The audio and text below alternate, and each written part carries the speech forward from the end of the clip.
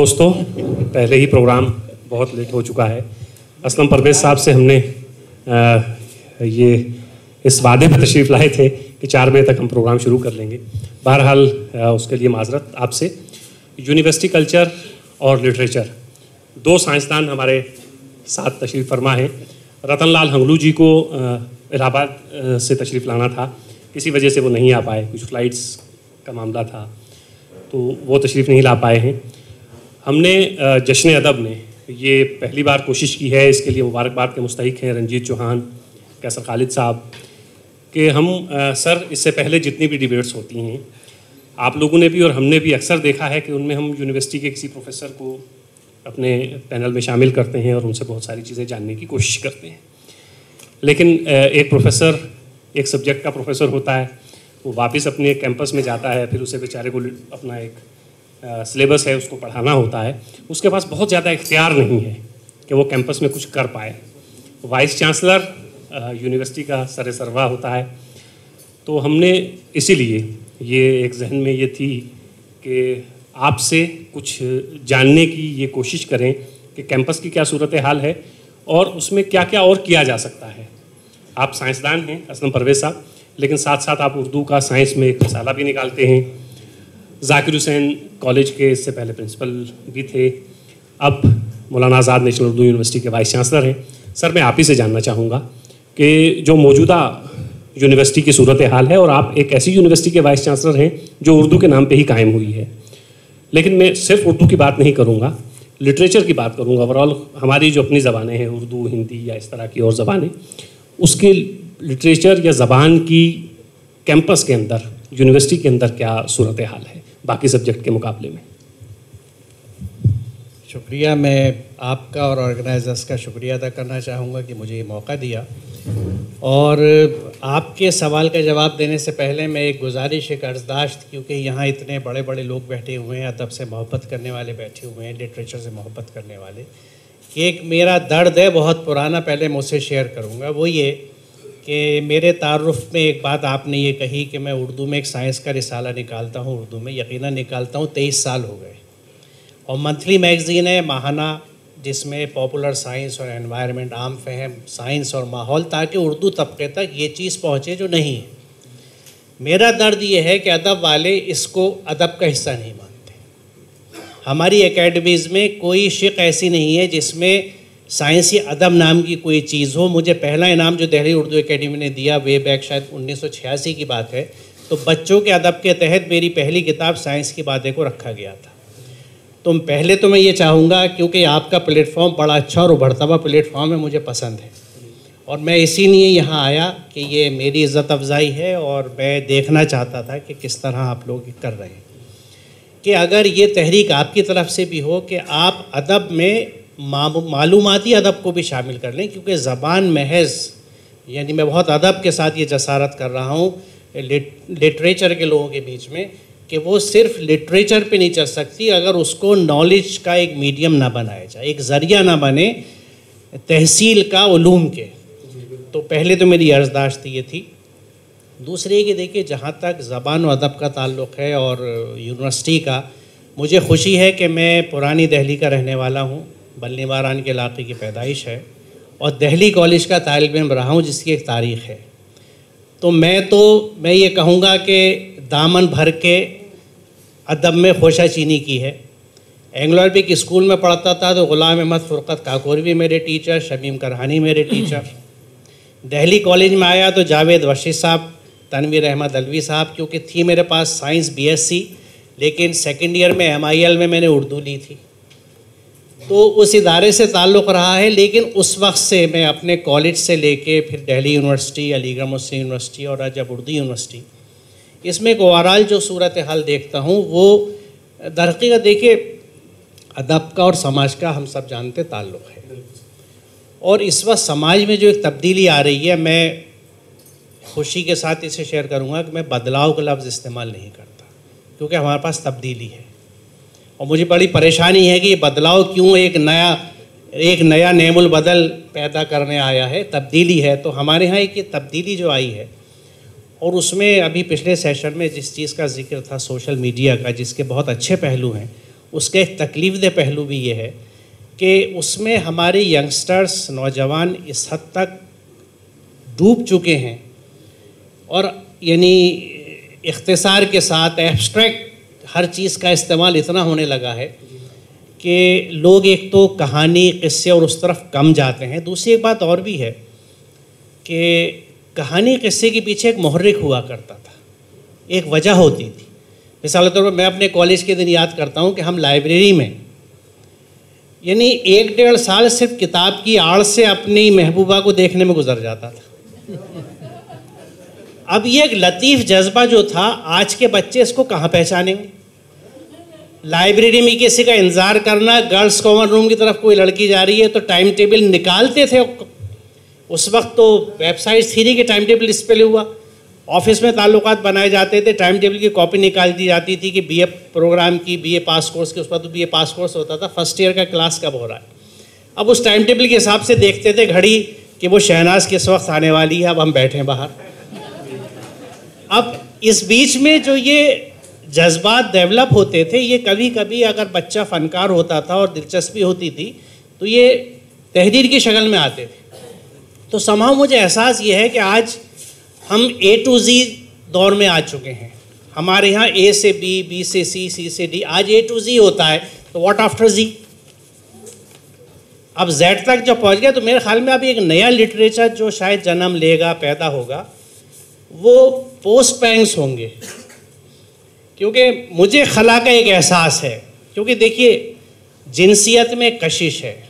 कुदरती है, हार्मोनल है, मैं एक साइंस का तालब इल्म हूँ एहतशाम साहब भी हैं। मर्द का और औरत के बीच का एक रिश्ता है, ताल्लुक़ है, और वो बतदरीज हमारे ज़माने में तय होता था। उसमें जो नशे व फराज आते थे ऊँच नीच आती थी, वो कहानी जन्म देती थी, वो शायरी जन्म देती थी।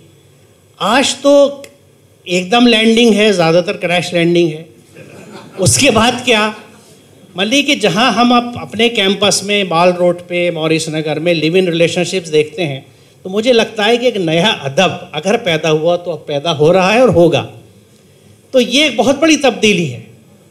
और मैं ये समझता हूँ, मैं अदब का नहीं हूँ मुझे अपने साइंस से ही फुर्सत नहीं मिलती, लेकिन अदब से यूँ जुड़ा हूँ कि साइंस को पहुँचाता हूँ, लेकिन चूँकि इन चीज़ों को पढ़ा है और मैं शुक्रगुजार हूँ अपने उन टीचर्स का जिन्होंने मुझे सेंसिटाइज़ किया इन चीज़ों के लिए और मैं अपने उस हसास दिल का जो समाज को देखता रहता है, क्योंकि इसकी वजह से समाज में जो तब्दीली आई है और वो तब्दीली बड़ी कठोर है। क्योंकि इसमें मैं ये कहूँगा कि ये टिशू पेपर कल्चर बना है। और इसीलिए मैं कभी भी अपनी जेब से रुमाल ख़त्म नहीं करता और प्रोमोट करता हूँ अपने बच्चों की भी कि डोंट यूज़ टिशू पेपर्स एक तो ये दरख्त ज़ाय होते हैं एनवायरनमेंट के लिए अच्छा नहीं है, दूसरे हमारा रुमाल क्या बुरा है? घर में हम धो सकते हैं, अगर धोने वाली नहीं धो रही है तो। हालाँकि वो भी एक डिबेटेबल है कि वो क्यों धोए, मैं क्यों ना धोऊँ। और मैं उसको अप्रिशिएट करता हूँ और ख़ुद भी धोता हूँ। तो ये जो कल्चर आ गया है यूज़ एंड थ्रो वाला, ये इंसानी रिश्तों में भी आ गया है।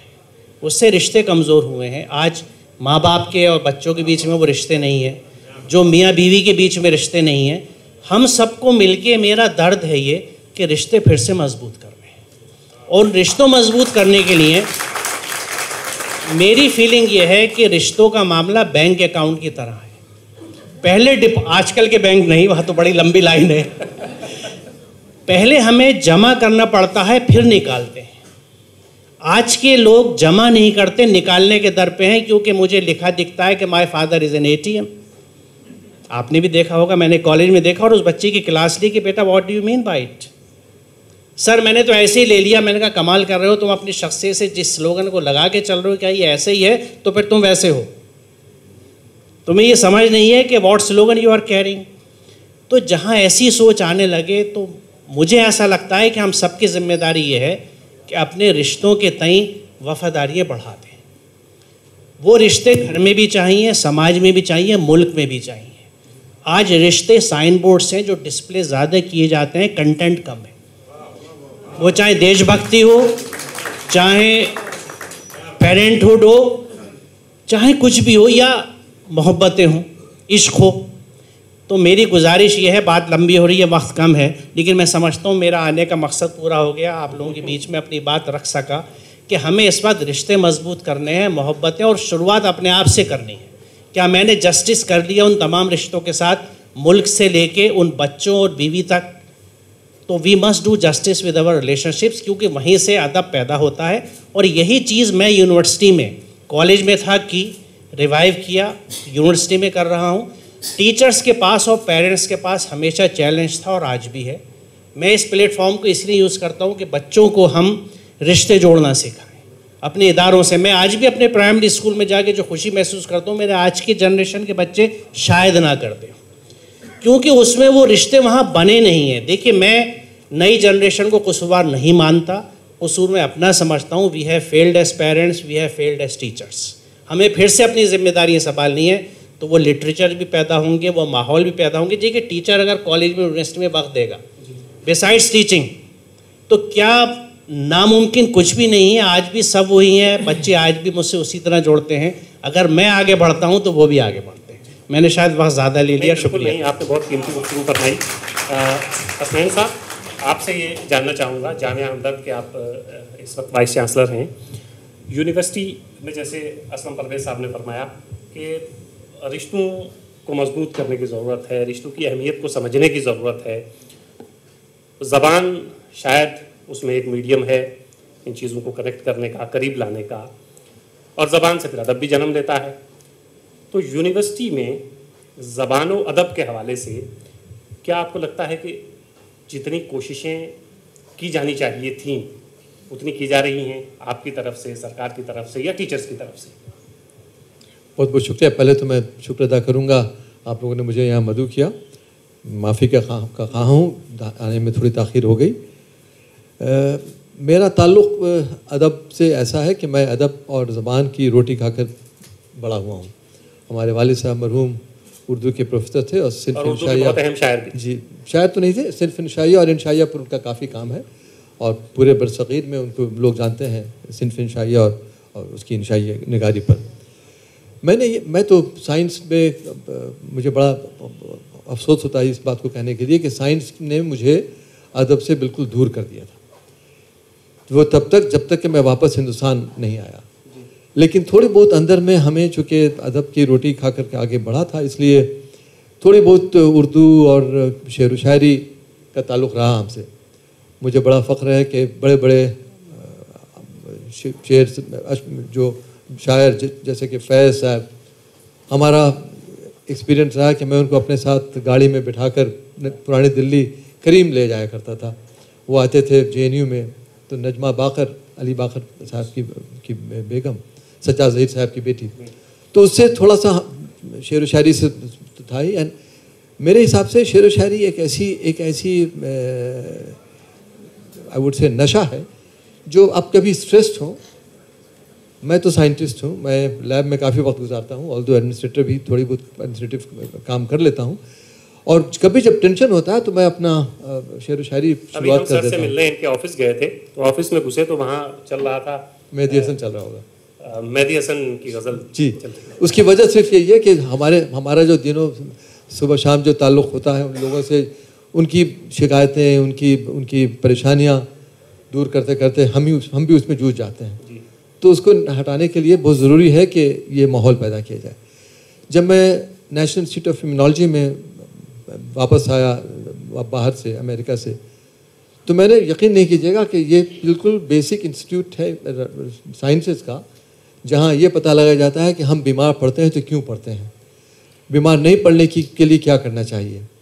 और क्या लेटेस्ट वैक्सीन डेवलप हो सकती है? क्या करना चाहिए? कि किस तरह से दुनिया इसमें आगे बढ़ रही है? इस माहौल में हमने दो बार मुशायरा करा। और मुशायरे से ये पता, ये एटलीस्ट सबसे बड़ा फ़ायदा ये हुआ कि लोगों में जिनके अंदर में ज़रा सा भी जज्बा था कि भाई कुछ है, शेर, शायरी में कुछ दम है कुछ करने की तो वो उभर गया। यही चीज़ मैंने, हैदराबाद में जब मैं साढ़े पाँच साल वाइस चांसलर रहा, सेंट्रल यूनिवर्सिटी ऑफ़ हैदराबाद में तो आपकी यूनिवर्सिटी के साथ मिल करके हम लोगों ने मुशायरा का इंतज़ाम किया और दो साल लगातार मुशायरा होता रहा। इससे सबसे बड़ा फ़ायदा जैसे कि मैंने ये देखा कि हम यूनिवर्सिटीज़ जैसे कि हैदराबाद यूनिवर्सिटी है जहाँ साइंस का ज़ोर ज़्यादा है। इंस्टीट्यूट ऑफ़ इम्यूनोलॉजी में साइंस का ज़ोर ज़्यादा है। जाम हमदर्द में भी साइंस का ज़ोर ज़्यादा है। वहाँ बच्चों के पास इस तरह की फ़ील्ड में जाने का वक्त नहीं मिलता। वो दे वो सब उसी उस, उस इदारे में आते हैं इसलिए कि बाय डिज़ाइन आते हैं। डिफ़ॉल्ट मोड में नहीं आते हैं। दिल्ली यूनिवर्सिटी जैसी यूनिवर्सिटी में बच्चे बाई डिफ़ॉल्ट जाते हैं। कहीं नहीं हुआ तो चलो दिल्ली यूनिवर्सिटी में मास्टर्स कर लिया बीए कर लिया, पहले ट्राई करते हैं एम्स की, उसकी। तो उन बच्चों में जो बाई डिज़ाइन आते हैं, उनके पास एक ही, मंशा, एक ही एम्बिशन रहता है कि मैं यहाँ से डिग्री हासिल करके चला जाऊँ। तो ज़िंदगी बड़ी ड्राई हो जाती है। तो मेरा ये मानना है कि इस ड्राई ज़िंदगी में कुछ ना कुछ ऐसी ऐसी तब्दीली लाई जाए कि कि यू नो आपको लगे कि मैं किसी काम के लिए कर रहा हूँ ना कि एक मशीन की तरह काम कर रहा हूँ। और ये तभी हो सकता है जब थोड़ा सा आपका आपका रुझान अदब में शेर व शायरी में अभी रिसेंटली मैं आपके साथ शेयर करना चाहता हूँ कि हमारे एक बड़ा अच्छा प्रोग्राम होता है सईद साहब करते हैं ड्रामा सईद आलम। साहब। तो उनका फ़ोन आया कि वो हमारा यूज़ करना चाहते हैं ऑडिटोरियम जाम हमदर्द का एक प्रोग्राम करने के लिए। मैंने कहा एक शर्त पर आपको ये परमिशन मिलेगा कि आप ये प्रोग्राम हर महीने कीजिए। तो वो तैयार हो गए मुझे तो उम्मीद नहीं थी कि आप एक, एक हर महीने के बाद मैंने कहा आपको फ्री दूँगा ऑडिटोरियम हर महीने कीजिए। फिर उन्होंने बताया कि मेरा ज़ाती तजुर्बा है कि जिस जिस प्रोग्राम की शुरुआत जाम हमदर्द से हुई है वो हिट हो गया। तो मैंने कहा तब तो आपके पास और भी मौका है कि आप हिट बनाइए और भी ज़्यादा। तो गालिब पर, फिर इकबाल पर, फिर अमिताभ बच्चन पर। तो इस तरह के प्रोग्राम वो करना चाहते हैं। ये सिर्फ़ इसलिए हम करना चाहते हैं ताकि जो लोग साइंस से जुड़े हुए हों, एक प्रोफेशनल लाइफ से जुड़े हुए हों, उनके पास भी कुछ कुछ अपनी फीलिंग्स को, अपनी स्ट्रेस को निकालने का एक ज़रिया हो। और मेरे हिसाब से जो लोग उर्दू अदब में या किसी भी अदब में, साहित्य में, ये हमारा संस्कार है। This is I think our tradition और इस संस्कार को निभाने के लिए ज़रूरी है कि थोड़ी सी रुचि इसमें लाई जाए, थोड़ी सी इसमें तवज्जो डाली जाए। व्हाट्सएप के बारे में और मॉडर्न तब्दील जो हो रही है, तब्दीली हो रही है, उसके बारे में हमारे को पैनलिस्ट ने बात बड़ी अच्छी की है। इसी सिलसिले में एक छोटा सा हम आपको एक पैरोडी सुनाते हैं। I am sure you all will like it आप लोग को पसंद आएगा। आजकल जो जिस माहौल से हम लोग गुजर रहे हैं, उस पर एक गालिब के with you apologist to Ghalib हज़ारों नोट थे ऐसे कि हर नोट पे दम निकले। बहुत निकले मेरे घर से, मगर फिर भी कम निकले। निकलना बैंक से नोटों का सुनते आए हैं, लेकिन बहुत बेआबरू होके स्टेट बैंक से हम निकले। बहुत अच्छी उन्होंने जो जो बनाई है, बहुत सही बनाई और of course it's parody on Ghalib बचा नहीं, जेब में सौ का एक नोट भी अब हुई सुबह और गम से एटीएम खोजते हम निकले। इस दौर में कोई तो उसे बैंक का पता बता दे। इस दौर में कोई तो उसे बैंक का पता बता दे। जहाँ बिना लाइन में लगे पैसे लेके हम निकले। इस मुफलिसी में नहीं है फ़र्क जीने और मरने का। उसी को देख कर जीते हैं जिस धन पे दम निकले। और आखिरी है खुदा के वास्ते एटीएम में कुछ तो डाल दे जालिम। खुदा के वास्ते एटीएम में कुछ तो डाल डाल दे जालिम। कहीं ऐसा ना हो, यहाँ से भी खाली जेब हम निकले। तो ये ये ये this has not been done by any शायर ये इसके, इसकी एक एक एक आज के जो हालात से जिस हम लोग गुजर रहे हैं तो ये उसी उसी की तर्जुमानी कर रहा है कि जो हालात से हम लोग गुजर रहे हैं। और ऑलरेडी गालिब का शेर है नॉट ऑन दिस इशू तो उसको आई थिंक उर्दू ज़बान और अदब और शेर व शायरी मेरे हिसाब से इसका मुस्तकिल मुस्तबिल काफ़ी बुलंद रहे हाँ रहा है और रहेगा। उसकी वजह यही है कि इस तरह की जो छोटी मोटी जो लोग टूटी फूटी पैरोडी बनाते हैं तो लोग अपने को जोड़ते हैं उससे। तो ये जोड़ने की जो जो प्रथा है ये आजकल जो नई बदलाव जिसका ज़िक्र किया इन्होंने इससे इससे इससे इस प्रथा को फ़ायदा मिल रहा है। तो बदलाव तो है, तब्दीली नहीं है, बदलाव है। जैसा कि हमारे पैनलिस्ट ने बताया कि तब्दीली या बदलाव में फ़र्क है। तब्दीली परमानेंसी लाती है। बदलाव देखता है कि कैसा, रुझान कैसा है। एक्सेप्ट करें या ना करें तो ये बदलाव है। तो इस बदलाव के लिए ज़रूरी है कि इस तरह की छोटी मोटी नशिस्त होती रहे। आप आप भी मुबारकबाद का मुस्तक इसलिए हैं कि आप हर महीने जो है अपने यहाँ आप इंशाल्लाह। प्लेयर होता रहेगा आपके यहाँ। बिल्कुल। और मैं जैसे भी ये। कहूँगा कि जब सईद आलम ने ये कहा है कि वहाँ जो भी प्रोग्राम होता है वो आगे चल के कामयाब रहता है तो मैं जश्न अदब वालू से भी कहूँगा कि वो भी आपसे कांटेक्ट करें। बिल्कुल, बिल्कुल। और किसी नए प्रोग्राम की शुरुआत जो है जामिया हमदर्द से की मैं स्टैंडिंग ऑफ़र आपके पास है। आप जब चाहें प्रोग्राम अगला प्रोग्राम हमारे यूनिवर्सिटी में करें। बहुत शुक्रिया बहुत शुक्रिया। असलम परवेज साहब आप उर्दू यूनिवर्सिटी के वाइस चांसलर हैं। आपकी अपनी एक जो अलग शख्सियत है, उससे हम सब लोग वाकिफ़ हैं। लेकिन जब से आपने उर्दू यूनिवर्सिटी का चार्ज संभाला है पिछले दिनों बहुत सुर्खियों में रही आपसे पहले, बहुत सुर्खियों में रही हमारी यूनिवर्सिटी। अब काफ़ी जाके हालात कुछ बेहतर हुए हैं, नॉर्मल हुए हैं। वहाँ जो सिर्फ़ उर्दू ज़बान या अदब के लिए, मेरे ख्याल से ज़बान के लिए, जो यूनिवर्सिटी कायम की गई थी, उसकी मौजूदा जो सूरत हाल किस तरह की है, क्या वो जिस जिन अगराज व मकासद के लिए यूनिवर्सिटी कायम की गई थी क्या उस तरह की सब चीज़ें वो कर रही है यूनिवर्सिटी देखिए, आप, मैं ये अर्ज़ करूँ कि ये यूनिवर्सिटी इसलिए कायम की गई थी कि उर्दू मीडियम से जो लोग पढ़ के आ रहे हैं, वो हायर एजुकेशन और हायर स्टडीज़ अली तालीम उर्दू में हासिल कर सकें। तो इसका, यानी ये वो मैंडेट है, ये वो एक्ट की ज़बान है जो पार्लियामेंट से पास हुआ है। लिहाजा इस पर तो मैं कोई राय अपनी नहीं देना चाहूँगा, लेकिन जो मुझे यूनिवर्सिटी जिसकी ज़िम्मेदारी मिली है उसी ये मैंडेट में है कि उर्दू के ज़रिए हायर एजुकेशन हो। तो वहाँ यकीनन जाने के बाद मुझे जिस चीज़ का बेहद एहसास हुआ एक पहला एहसास तो ये था कि वहाँ उर्दू यूनिवर्सिटी है और वहाँ उर्दू तहज़ीब की यानी सकाफ़त की झलकियाँ बिल्कुल नज़र नहीं आ रही थी। तो उसके लिए पहला काम मैंने ये किया कि वहाँ उसको डेवलप किया उस कल्चर को स्टूडेंट्स को इन्वॉल्व किया गया और उसके लिए मैं यहाँ दिल्ली उर्दू एकेडमी से थे और आप वाकिफ़ होंगे। अनीस आज़मी साहब को उनको वहाँ ले गया और अनीस आज़मी साहब जिस तरह के फ़ाल आदमी हैं, उन्होंने वहाँ जाके ना सिर्फ़ थिएटर बल्कि गज़ल, गायकी और जितनी भी असनाफ़ हैं उर्दू अदब की उन्होंने शुरू करी। हमने बैतबाजी का सिलसिला शुरू किया ताकि बच्चों को ये तमीज़ आए, पता लगे कि शेर किस तरह पढ़े जाते हैं और नशस्त कैसे होती है। ये सब चीज़ें शुरू करी इस रुख से। दूसरा ये था कि जब उर्दू में हायर एजुकेशन देनी है तो उर्दू ज़बान में, चूँकि किताबें नहीं है, इसलिए इस यूनिवर्सिटी की बड़ी यूनिक मैंडेट है कि वहाँ पे आपको अगर इकोनॉमिक्स पढ़ानी है तो इकोनॉमिक्स में किताब बनानी पड़ेगी। वो किताबें वहाँ नहीं थी, वहाँ अंग्रेज़ी की किताबों से तर्जुमा करके टीचर पढ़ा रहे थे। तो उसमें बच्चे का नुकसान ये हो रहा था कि वो कहाँ से पढ़े? सिर्फ़ टीचर के नोट्स पे अगर आप पढ़ेंगे तो नहीं पढ़ सकते। तो एक तो मैंने एक मूवमेंट के तौर पे ये चीज़ शुरू करी कि उर्दू में किताबें लिखी जाएँ। मोटिवेट किया अपने स्टाफ मेंबर्स को और वो काम चल रहा है। साथ में दूसरी चीज़, एक दूसरी हकीकत हमारे सामने रहनी चाहिए कि उर्दू से पढ़ने के बाद आप चाहे वो केमिस्ट्री ऑनर्स करें या बॉटनी ऑनर्स करें, वो आगे उस बच्चे का फ्यूचर नहीं है अगर वो अंग्रेज़ी नहीं जानता। तो वहाँ साथ में सिलसिला शुरू किया कि पहले सेमेस्टर से इंग्लिश की टीचिंग ख़ासतौर से कम्युनिकेशन इंग्लिश के लिए बहुत रिगरस शुरू किया है ताकि टारगेट ये रखा है कि ये जो बच्चे इस सेशन से आ रहे हैं, ये सिक्स सेमेस्टर का एग्ज़ाम अंग्रेज़ी में लिख सकें। ताकि इनके लिए फिर ये खुल सके रास्ता कि ये जेएनयू में जाएँ डी में जाएँ, जामिया हमदर्द में जाएँ। यानी उर्दू यूनिवर्सिटी का बच्चा सिर्फ़ उर्दू में अगर पढ़ा रह गया तो फिर वो समाज के लिए बहुत ज़्यादा कारगर हिस्सा नहीं बन सकता। क्योंकि प्रोडक्टिव होने के लिए आपको मेन स्ट्रीम में आना पड़ेगा। तो एक रुख ये रखा है कि उर्दू के ज़रिए आप ज़रूर पढ़िए। और उसमें एक आखिरी नुक्ता यह है जिसको आप लोग सोच सकते हैं कि ये उर्दू मीडियम के बच्चे आएँगे कहाँ से?